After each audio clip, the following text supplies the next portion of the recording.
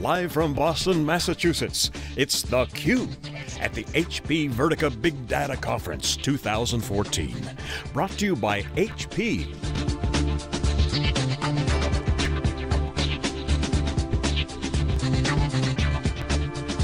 With your hosts, John Furrier and Dave Vellante. Okay, welcome back everyone. Here live in Boston, Massachusetts. This is theCUBE, our flagship program. We go out to the events and extract the signal from the noise. I'm John Furrier, the founder of SiliconANGLE. I'm joined by co-host Dave Vellante, co-founder of Wikibon.org, and our next guest is Andrew Rollins, Chief Software Architect, co-founder of Localytics, hot startup, not yet public, still private. Uh, Andrew, welcome to theCUBE. Thank you. Had Thank to weave that in me. there because you know you guys are in the uh, the later stages of financing, obviously Series Seed, you're mature, hundreds of people, uh, in a hot market, analytics, really on the cusp of really breaking out. We see this really early days still in big data, um, exciting mobile, you know, if you think about the iPhone in 20, 2007, we're still embryonic in terms of an industry. The sea change just to mobile, just looking at web traffic conversion to mobile. You have now multi-platform, used to be set-top box in the web, now it's web mobile. Uh, mobile first certainly changing the game.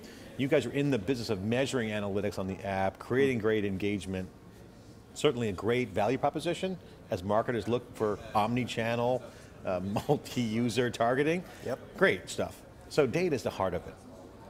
What's your vision of big data and how to make all this work seamlessly, creating value for your customers? So yeah, that's a, that's a really good question. So we do more today than just the analytics portion. So we're focused on app analytics, measuring how people use your application, but also interacting with them. So that could mean anything from push notifications to in-app messaging, and maybe potentially other mediums as well. So it's not just measuring it, but it's also doing something valuable with that data. And when you look at then the ecosystem as a whole, you want to do that not just on one device, but you want to do that across all devices, all touch points with your user. Whether that means the mobile app, the desktop, the website, maybe even on your point of sale system if you're, let's say, you're a retail company. So we're really looking into now, you know, like you said, in 2008 was when the iPhone App Store launched. We're looking now into, well, forget just app by itself as a silo, forget just web by itself as a silo, how do we bring it all together? Yeah, unification is a huge thing right now, and you brought up notifications, and this is interesting because I think I want to just drill down on this. What if I heard you correctly is, most people have analytics, that's basically monitoring, basically, what's happening, and they report up on a dashboard. Yep. Passive, I guess, passive monitoring. Hey, we had visitors, and show you some stats in real time, but it's being uh, ag uh, aggregated in. What you guys are doing is different from what you said. Is in, in terms of right, you're interacting in a handshaking way with users directly. Yeah. So it's more passive active integration with the user. Is that true? Yeah, so I could give you like an uh, use case. So the idea is really getting the whole feedback loop. So let's say you acquire a user through some channel. Maybe you're advertising your mobile app on Facebook. So we measure the fact that that user was acquired by Facebook. Then we track their behavior and how, they're using your app, what are they doing. And let's say you're a shopping application. You want to say, okay, how are my users going through my purchase funnel?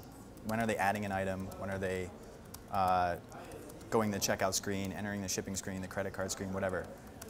From there, you might want to identify groups of users that have made it so far into your funnel, but let's say they've added something to a cart and they haven't come back to check it out.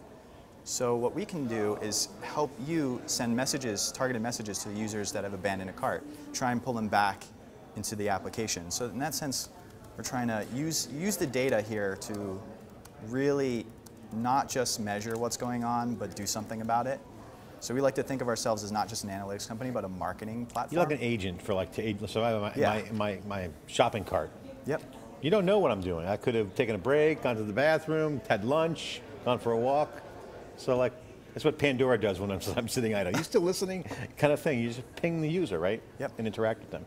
Okay, so now the value for the, for the customer is convenience or kind of a feeling of interaction. On the analytics side for the marketer, what's the ROI for those guys? You bring data back in to look at statistics. Is there a holistic package? Is it more of an overlay? Totally. So uh, we, network? we like to drill into the lifetime value of the customer. So you're really overall, your objective is to increase, especially if you're a commerce app, increase what your uh, your LTV for that customer. What are you making off of that customer? How much are you selling them? For some other applications, it might be different. If you're a media app, you might be looking at engagement metrics because you're not selling directly to the customer. The customer is, your user is almost your customer than to an advertising company. So we like to drill into, let's say if you're in commerce, you're going to really, really be looking at LTV. If you're in news or media, you're going to be really looking at uh, engagement metrics. How long are they in the application? What are they looking at? So when someone engages with you guys, do they get involved right away? So is it mostly an e-commerce company? Is it an app developer? Is there a profile that you guys have for your customer base? Yeah, so we uh, these days play mostly in the larger applications. So many of the top 100 apps on iPhone and Android are on our platform. Our customers include companies like uh, eBay, Microsoft, uh, SoundCloud, a bunch of them. So not just even in the US, but globally. And we're really trying to work with app publishers who have long-term apps. Yeah, I was reading the um, news yesterday. Obviously, BuzzFeed went public. Not public. I'm sorry. It seems like a public offering. $50 million raising fin financing from Andreessen Horowitz, a venture capital firm in Silicon Valley, um, and an $800 million valuation. Chris Dixon, one of the investors, said it's, it's not about the category of them versus the New York Times. It's the fact that mobile now is it's not about the category. It's about a whole nother generations of startups. So I got to ask you, what you're essentially doing is bringing in the Internet of Things concept, where if everything's connected, yep. the experience of a user is not is more than just an app or or a web app or a website. There's a holistic view of this kind of full stack. What are you guys doing technically to make this kind of DevOps full stack startup uh, work? I mean, is there a technology innovator that you guys are, have there? Is it just off the shelf guys coding? What are you guys terms, doing? So what are we using for our stack in terms of how yeah. we're making this yeah. all come together? So. And do you guys believe in that thesis that the whole world is connected oh, and that that's part of your vision yes, and relevance? Definitely. So for us, we really want to bring together one view of your customer that's cross-medium, across all their devices. Uh, we like to think of apps, like everything's becoming appified, the web too, it's not just mobile. Uh, and desktop as well, you look at what Microsoft did with Windows 8.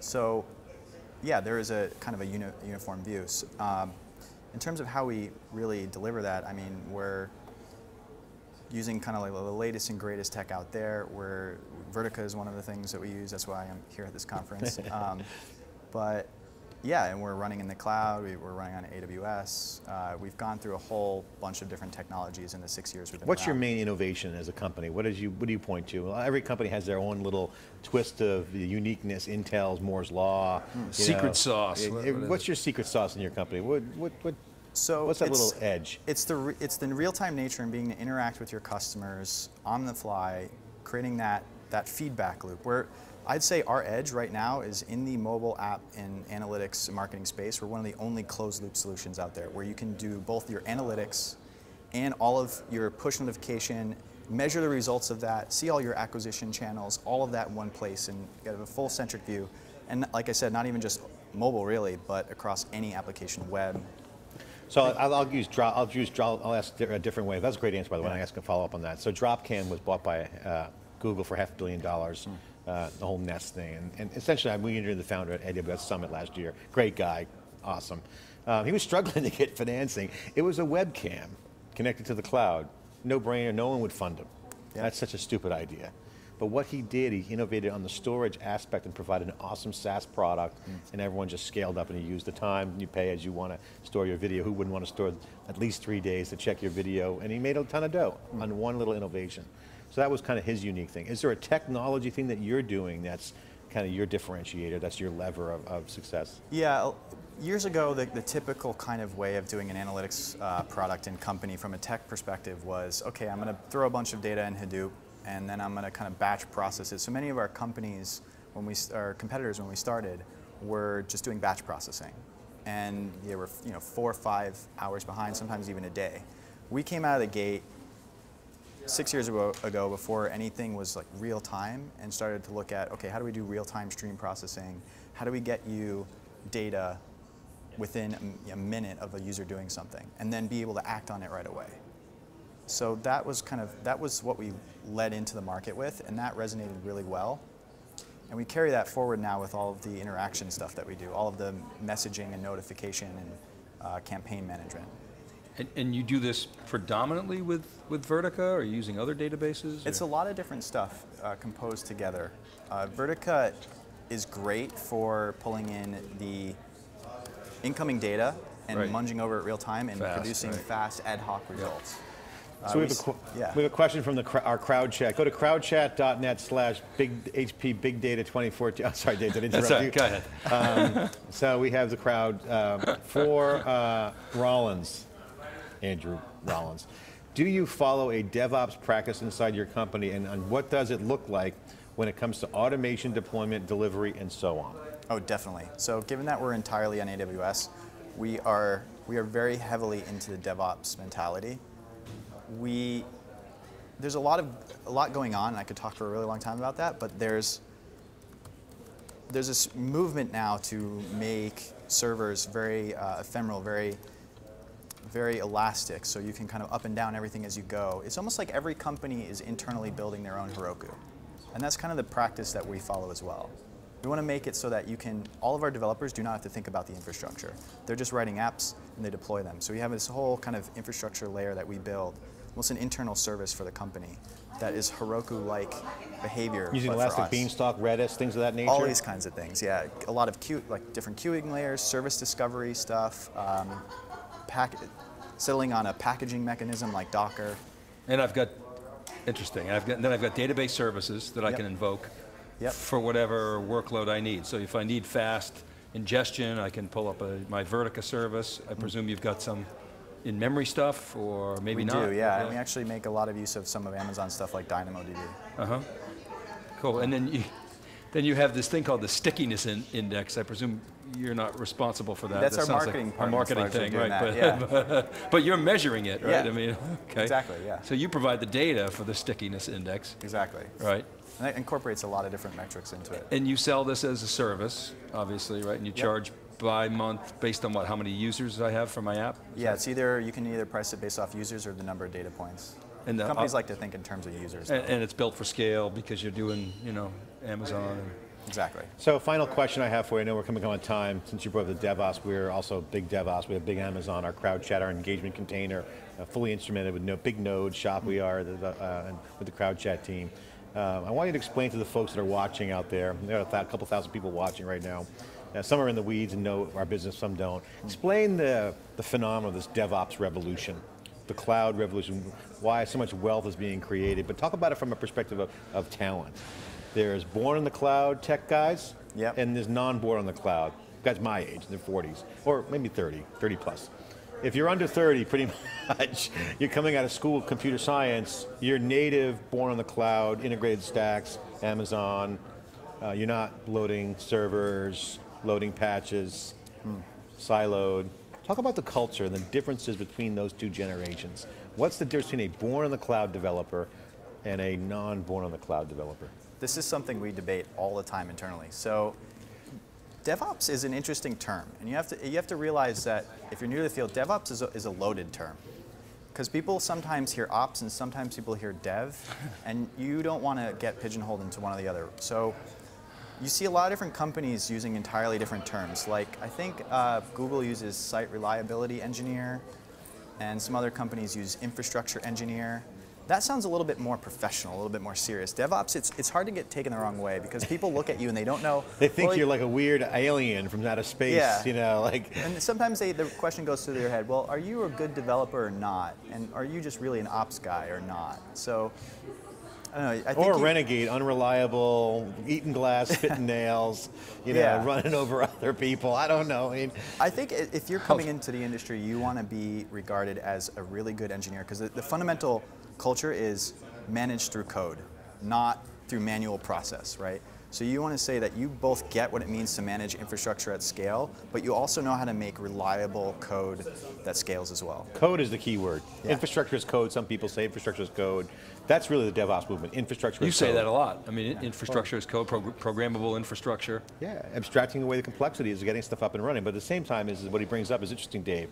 You know, we've had people on that have been more from an ops background, says you call ops dev, because ops is more five nines oriented. Developers, oh, I just reboot, just loads new new code, and and the stacks take care. So there's more of a QA mindset not so much one or the other, it's but more of it's your But perspective. doesn't, it doesn't, it's interesting, those, those terms, infrastructure engineer and site reliability engineer.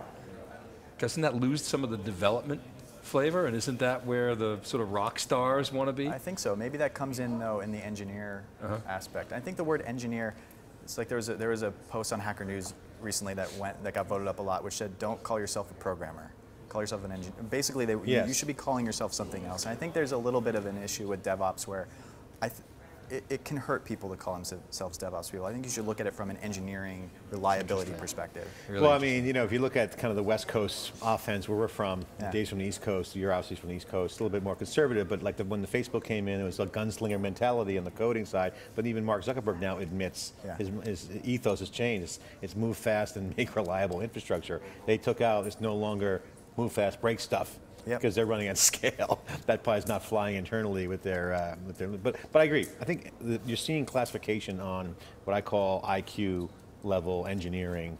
You can be an engineer and not have to be pigeonholed and be bad, right? So if you're an ops guy and you're awesome at ops and you're engineering ops, that's not bad, but it's awesome, right? So if you're coding and you're an awesome engineer, you're writing great code that scales. that's well documented, hopefully. So I agree. Great, great comment. Um, give you the final word. Um, what's your outlook for the cloud going forward, real quick? I'll look for the cloud. I think containerization is a big thing.